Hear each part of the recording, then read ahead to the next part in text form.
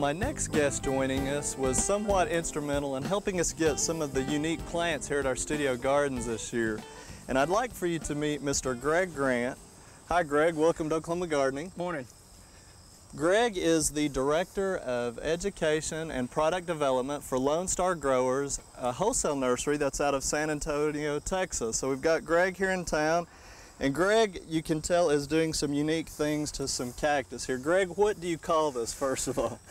It depends whether you like your plants carved on or not. I like to think of it as botanical sculpture. In other words, making uh, yard art or garden art uh, out of your plants. Some people tend to look at it as horticultural graffiti that you're that you're marring the plant. But where I come from in Texas, prickly pear grows all over the, the countryside and people try to get rid of it so it's not something that happens to be a precious item so if we want to carve on it it's not that not that big an issue. Now what are you doing? Tell us how you're doing it. Okay, in this case you have uh, uh, fleshy pads on a, on a prickly pear, in this case a spineless prickly pear, and you carve it into shapes or you can cut holes and it can be faces, it can be shapes, it can be stars, squares, triangles, and then the plant will actually heal over and suberize so it, it doesn't hurt the plant. It grows over, if you go through a a pasture where the cows have eaten on it, it'll do the exact same thing. In this case, we carve it in a, in a face or a picture that we want. Mm -hmm. It heals back over, and then you have a, a semi-permanent piece of art. Now, it will start to grow out of that, so before long, this guy will have ears on his head, and you can either carve those pads or let it go, and eventually right. in time, these pads will uh, basically disappear, and you'd never know you carved on unless you keep carving on it. Right. Now, you brought a slide with you that we're showing the viewers. What? Tell us about what they're seeing in the slide. you can really get carried away and do anything that, that you want. I generally like to make faces. Uh, I'll often get carried away and throw in some shapes and stars and, and, hearts and that sort of thing. But what's fun is to make faces and have each pad be a different face. So uh, uh, there at my home in San Antonio, I have a favorite container this uh, spineless prickly pear that I like to carve on. You put faces, and then I can also take things like echeverias or ghost plant, and you can put tongues in them with, mm -hmm. with mm-hmm. sedums or other succulent plants and have a tongue hanging out there and, and, and do anything that you want. And you can put flowers around it as well. Now you're calling this a spineless prickly pear. What, where does this come from, and is it full sun, I assume, just like most cacti? Right. A lot of people are familiar with uh, with cactus. Well, most cactus that people think of are a plant called prickly pear because it makes an edible fruit somewhat like a pear. If you go to South Texas and Mexico, people talk about pear or tuna, the fruit of a, of a prickly pear cactus, uh, turns purple and red, somewhat edible, and you can cook and uh, use it as almost a dessert fruit. But in the wild, they have vicious spines all over the mm -hmm. plant. So in this case, it's much easier to take one that's been selected for, for no spines, although you have to be real careful. And you know somewhere in a glove, even when you touch the spineless forms, and this is the form with the least amount of spines, it has tiny little little right. bitty spines called glochids that'll get in your hand. What's the genus species of this one? All prickly pears belong to the genus Opuntia. In this case, it's a complex hybrid that Luther Burbank did between a number of different species. Okay. So you can pretty much call all spineless prickly pears the genus Opuntia. Okay.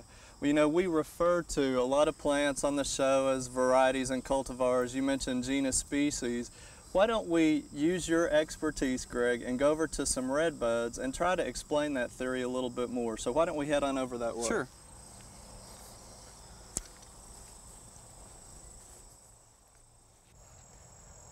Well, what you're seeing is the Oklahoma redbud, and of course redbud is our state tree, and Greg and I have found out that really redbud is a great example, hopefully to talk to you about genus species cultivar variety and it sounds very confusing. Now you actually have the true native one, Greg. Tell us a little bit more about that one. Right, this is Cercis canadensis, variety canadensis. Our native redbud runs all the way from Texas to Canada, all the way to the East Coast.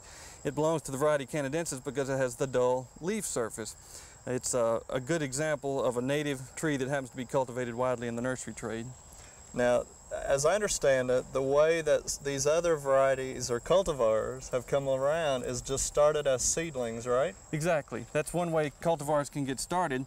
In this case, this is forest pansy. It's a purple-leafed selection of the native eastern redbud. So it's Cercis canadensis, variety canadensis, but a seedling popped up in a nursery that had purple leaves.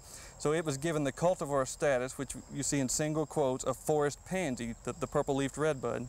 And that means the only way that you can get forest pansy is to propagate it, right? Right. This is propagated strictly from, from buds or grafting, so it has to be vegetatively propagated to make it a cultivar. A variety is something that seeds naturally in the wild and maintains that status. And a good example of variety would be the Oklahoma redbud. In this case, in the wild, from Oklahoma down through Texas into Mexico, you have a shiny leaf form. It's the variety texensis. In this case, it happens to be a cultivar selected in Oklahoma that had real pretty flowers and really thick shiny leaves, and it was given the cultivar status of the Oklahoma redbud, or the cultivar Oklahoma. Now, Greg, again, that was fast, and sometimes that's confusing to us. So what we're seeing here is cultivars, but if they see it in a book or on a tag, how would you see that written out? Usually, explain to us a little bit about its genus, first species, and the correct way that it's written out is the, genus, the first word. Every plant on earth has a two-name uh, a two-word name. The first word is capitalized, the genus. The second word, the species, in this case canadensis, it's lowercase letters, and both of those are either underlined or italicized. The variety name is written in lowercase letter and underlined and italicized. And what's most important for us is the cultivar name is written in capital letters in single quotes and that's where we get the Oklahoma redbud and the forest pansy. And I know you're a bottom line guy, and the bottom line to this is if you don't know those things and you can't go to the garden centers and ask for it correctly, you may not get Exactly. You for. have to go and find Oklahoma on the tag or forest pansy on the tag to ensure that you're going to get a shiny leaf or a purple right. leaf, or you might just end up with a wild redbud with dull leaves and, right. and inconspicuous and sometimes flowers. more pest problems. exactly. if you notice, the Oklahoma redbud or the variety texensis actually has shinier, more pest-resistant mm -hmm. foliage than the native version where the gets leaf spot and some bugs right. and the wind has tattered the foliage. Now Greg, one of the things that I find most interesting though is that these new cultivars started up by just again as seedlings. Now let's go take a look at coleus because there's a, another way cultivars start and that's by sports and I think you've got some good examples to show exactly. us there. Let's go take a look. Well, on the south side of our studio barn around our deck area, we're trying to grow coleus this year in full sun. And we've also planted some over here to the west side of our lattice on the decking side. And Greg, it's really giving us a brilliant display of color, but we broke one off over here and we talked about sports. At, tell us what we've got here. What's happening with this coleus? In this case, another way to get cultivar is to have a genetic mutation grow off an existing plant. Which is also called a sport. Right, a sport would simply be this genetic mutation. It's a plant that looks different. It's not a seedling. It actually grows off the parent plant. In this case, you can take that piece off propagate that from cuttings and invent a mm -hmm. new mm-hmm. cultivar. All right, now the original plant is this one here, right? Right, it started off as a cultivar called Green Dragon, and then it sported several different other cultivars. This is Lemon Lays, and here we have Plum Parfait sporting off right. the same plant. Now you just didn't know that that was Lemon Yellow or Plum Parfait. You went through a process of trying it, and then you eventually name it, Exactly, right? that's, how, that's how it works. And, and you take the cuttings, you put them in the ground, again, and you, you actually named this one, right? I did. It's not a very popular one, but uh, you can have sports all the time. Some of them okay. turn to be good garden plants and right. some of them aren't. In this case, you have to propagate it, see if it remains true or if it right. constantly reverts back. Okay, now again, you can't get these from seed, right? No, you can't get them from, okay. from seed, strictly vegetative. So this one did so well, it got its name and now it's being sold all over Texas and Oklahoma and we've got it growing here. Now tell us about the cultivar again and why it's so good. This is the cultivar Plum Parfait, and in extension trials throughout Texas, it turned out to be one of the two most sun-tolerant coleus. Coleus historically has been grown in shade, wouldn't tolerate full sun. In this case, it was one that would tolerate full sun conditions. Right. Now, is is a characteristic? Is this very unique? The the uh, foliage and everything. The shape of the foliage is unique, and then the multi-colored foliage mm -hmm. is mm-hmm. also unique.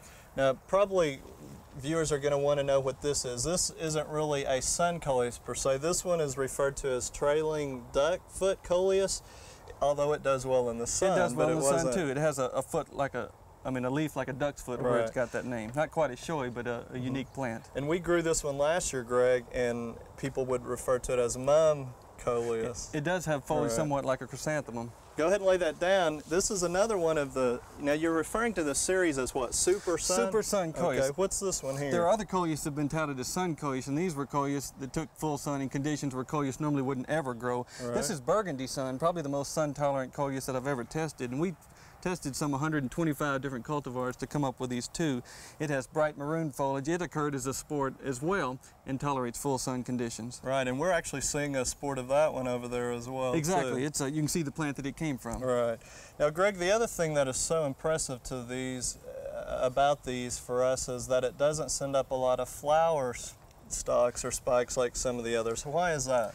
Historically, coleus has been grown from seed. One, it burned in the sun, and two, it went to seed during the summertime. And you don't grow coleus for the flowers, you grow it strictly for the foliage, and you had to go through and pick the flowers off. So in this case, we had a new version of an old-timey plant that was actually better than, than the old version.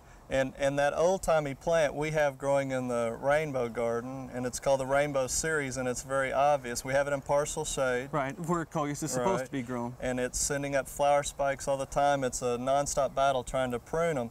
What about some of the old heirloom type coleuses like that? And are, are they still very popular? In that case, in coleus, it's not as popular. In a number of other plants, the old-fashioned versions are becoming Right. more popular than the new version because they're tougher and easier to grow. Right.